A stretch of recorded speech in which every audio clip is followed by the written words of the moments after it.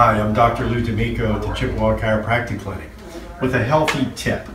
One of the activities of daily living that I get uh, most complaints on for aggravating a, a kind of achy low back is from my uh, older women patients who say, boy, that vacuum cleaner just kills me.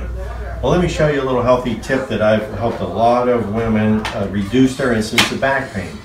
Most of the time when someone is using a sweeper, they kind of stand with their knees straight and they're using their shoulder more to push the sweeper back and forth.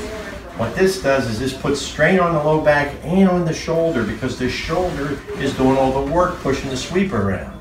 Now that's okay, sometimes in a tight corner you have to use that type of fine tuning to get the sweeper to uh, get into the edges, but for the wide open spaces of your carpet, try this little thing I call dancing with the sweeper.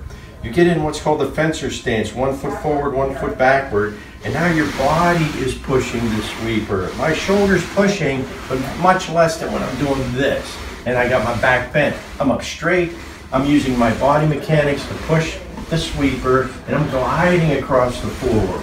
So in those wide open spaces, I can take this sweeper and move it back and forth across the floor and glide with it. And then when I've got to get into the corners, I can still use the fencer stance and use the sweeper to get in the edges.